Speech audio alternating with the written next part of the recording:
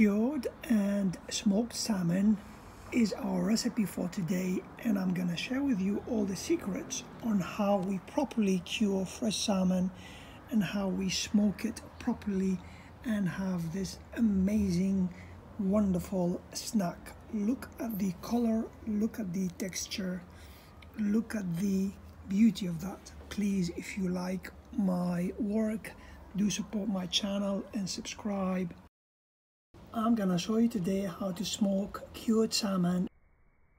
This recipe is in memory of my dad that passed away that taught me many things, made me the person I am, positive, loving, appreciative of everything beautiful and among that the good food.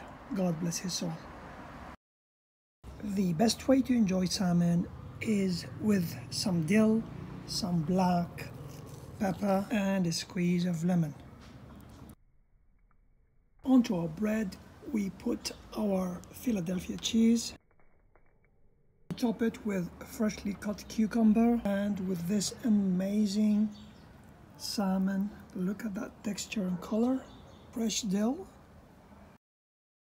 black pepper and a squeeze of lemon juice. And we enjoy that. Bon appetit and have a wonderful day.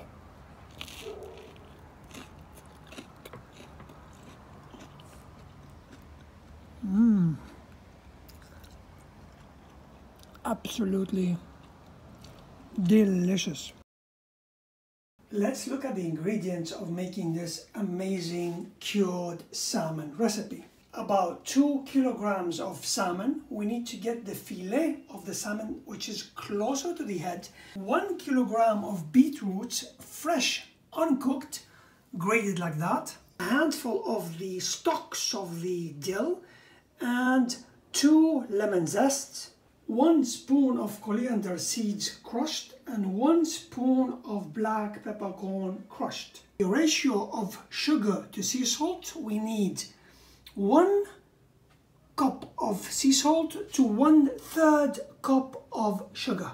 We add the salt, the sugar. Then we add our dill and lemon zest, coriander and the peppercorn and we mix. We will only be covering the salmon from the top. Off we go, we start quoting. Look at that rich color.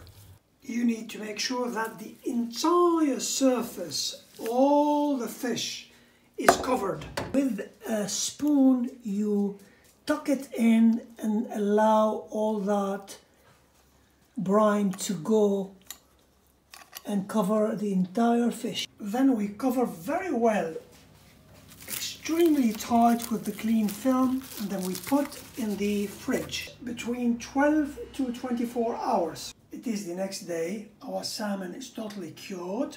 We need to uncover now we need to rinse it lightly and with the clean kitchen towel we need to pat it dry very carefully.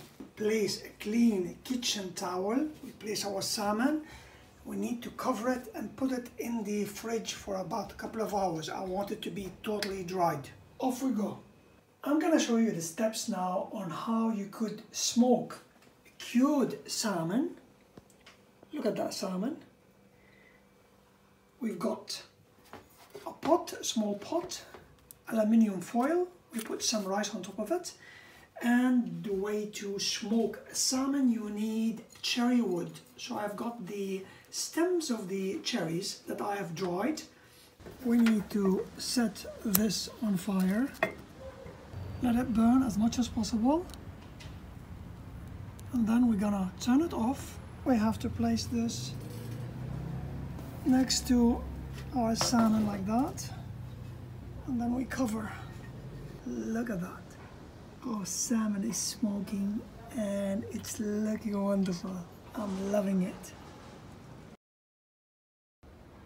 We need to have it under the Pyrex for about five minutes. We need to cut thin slices and the result would be something like that I have separated my salmon into a weekly dosage with clean film and I'm going to put this in the freezer.